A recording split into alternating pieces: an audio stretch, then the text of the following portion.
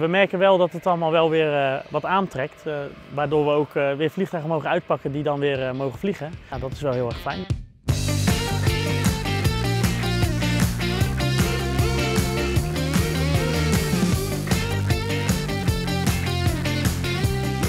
We gaan nu naar een EasyJet vliegtuig en die gaan we return to service. Dus dat betekent dat hij weer mag gaan vliegen. daarvoor moeten we een aantal dingen doen. Onder andere wat testjes en hem uitpakken, zodat hij weer vluchtje gaat maken.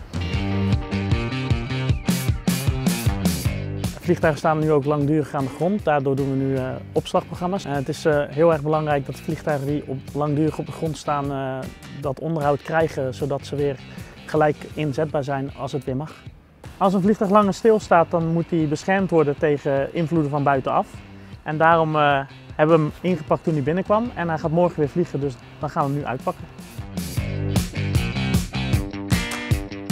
Als het, uh, een vliegtuig lang stilstaat dan, en hij blijft op dezelfde plek staan, dan kan het wiel vierkant worden.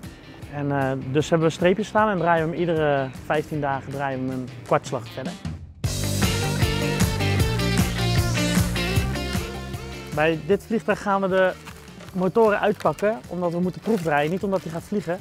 Uh, proefdraaien is het opstarten van de motoren om te zorgen dat als het vliegtuig weer gaat vliegen, dat de motoren goed zijn en veilig.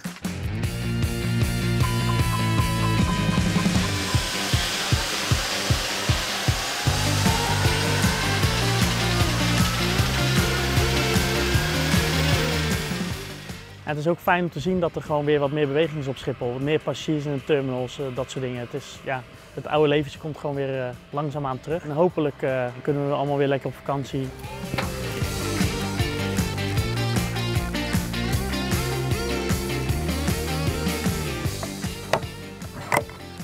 Zo, hij is er klaar voor. Hij kan weer veilig de lucht in.